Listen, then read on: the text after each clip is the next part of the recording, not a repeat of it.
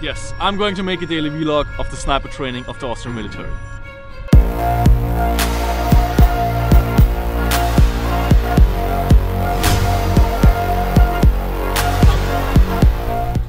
Hey, what's up guys? As already mentioned last week, I'm going back to the military for two weeks of sniper education and I'm so excited for it. I really can't wait.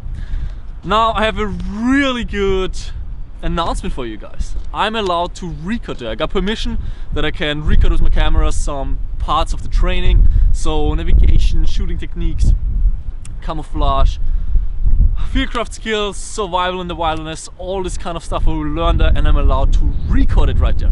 I will actually try to do daily vlogging, which will be quite of a challenge because I have to do the sniper training, which is already a physical stress and also a mental stress. At the same time, I have to do daily videos. Uh, I don't know if I can do it. I will try my best to keep you guys updated. You know, release a video every day. It will start from next week Sunday. That's when I will go to the military. And from then it will start for two weeks, the entire education. So, in order to survive this training, I have to prepare physically. Of course, I'm playing airsoft and you know, if you're on a milsim, you do get some physical stress, but at the military it's just another level. You're carrying a backpack which is heavy as fuck and I'm not used to it anymore.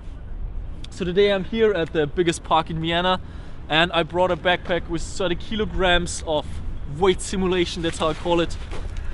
Inside I have not the stuff into the military, so there's no backpacks or things inside. It's just uh, just primitive weight. It's a toolbox and the toolbox it's filled with those iron weights so I get a weight of 30 kilograms.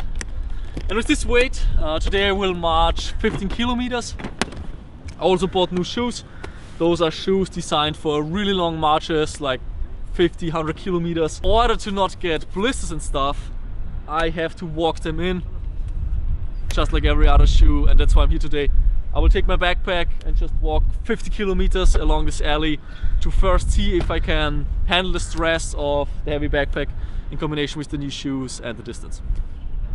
Now today is not the first day I'm doing this because next week the sniper education is already starting. I'm actually training already for a week. For those of you who are following me on Instagram, they already know from the Instagram stories that I did quite a lot of training. I try to walk with this backpack twice a week, 15 kilometers at 30 kilograms. But just to show you guys how I do the preparation, let's do this. Some of you guys might ask now, didn't you already do the sniper education? Why are you going back to the military again? And the answer is yes and no. Uh, the new sniper training I'm doing will be way more advanced, it will be a little longer and you know I will just first refresh my skills and on top of that we'll also learn some cool new stuff when it comes to especially surviving in the wilderness, camouflage and shooting. And what's also interesting is the whole daily vlog thing. So I always wanted to do daily vlogging, but when I looked at all those vloggers, how they fill their videos with content, it's basically, you know, it's this guy who's standing up in the morning, he gets some, you know, some cornflakes, then he goes to Starbucks, drinks his fancy coffee and, you know, types into his MacBook. And I thought, wouldn't it be cool if there would be a vlog with some military content? But I, because I think because I think that's something very new out there. I don't even know if somebody has done this before. So can't say no to this challenge. I have to do it.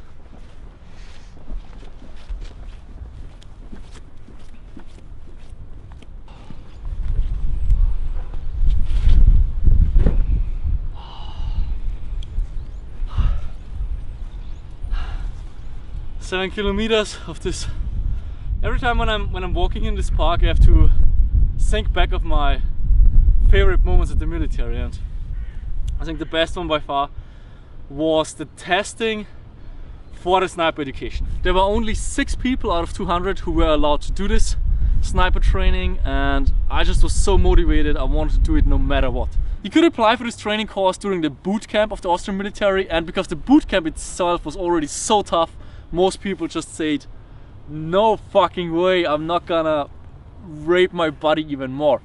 But I, I just wanted to do it. I always wanted to be a sharpshooter, so I applied for it. And there were 20 other people besides me who were motivated enough to do this. And so they had to test because only six people were allowed to actually participate in training.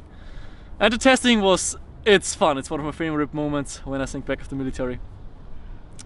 So they let us sleep in this kind of cinema room. It was like a presentation meeting room where they, you know, they show you what to do at the Austrian military. And they had those huge speakers. So we slept in there and at three in the morning we got the alarm was basically a song called Die Motherfucker Die by Dope. The link to the song will be in the video description. You have to check it out. It's it's the best song to wake up if you want to do some push-ups.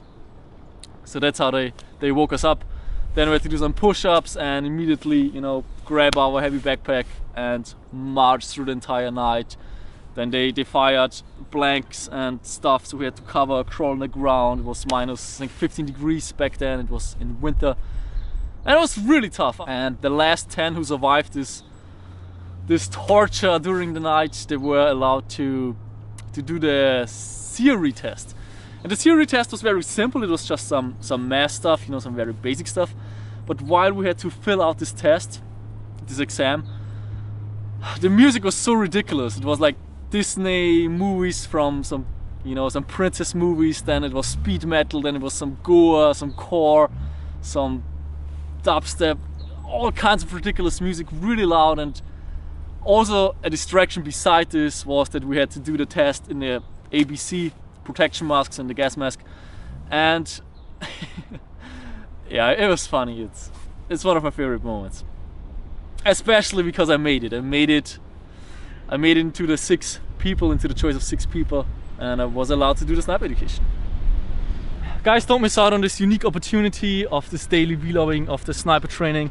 It will be something very, very unique on YouTube. I don't know if anybody has recorded a training like this from the first person perspective, so don't miss out on it. I'll see you guys next Sunday, and now I have to finish my 15 kilometers of train.